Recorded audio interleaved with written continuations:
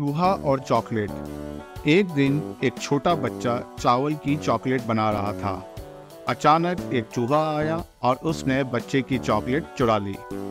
बच्चा दुख का इजहार करते हुए बोला, मेरी चॉकलेट, चूहे ने मेरी चॉकलेट चुरा ली।